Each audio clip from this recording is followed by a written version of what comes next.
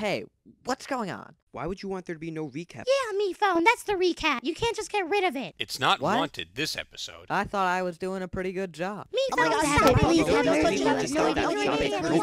Please, What are you doing? What are you, no, no, no, MePhone. What are you doing? Stop! I have a contract. MePhone. No.